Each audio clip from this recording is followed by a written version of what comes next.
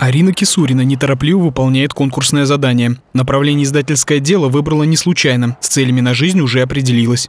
Даже если не получится журналистика, я пойду дальше по своей же профессии и буду работать. Это очень интересно. Мне это очень нравится. Оформление постпечатной продукции – основная конкурсная задача. Среди критериев – аккуратность и скорость работы. Другие направления – ландшафтный дизайн, сетевое программирование, ресторанный сервис, малярное дело. Воспитывая ребенка, мы всегда надеемся, что он получит профессию, что он сможет реализоваться.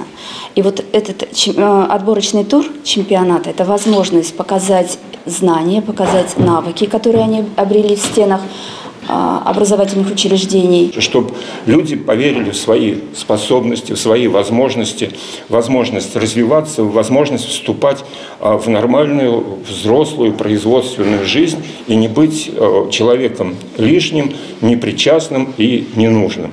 Соревнования в 63-м регионе проходят на пяти площадках – в Самаре, Тольятти, Кенель-Черкасах. Победители регионального этапа поедут в Москву представлять Самарскую область на чемпионате России с 10 по 13 ноября. Андрей Горгуленко, Василий Колдашов. События.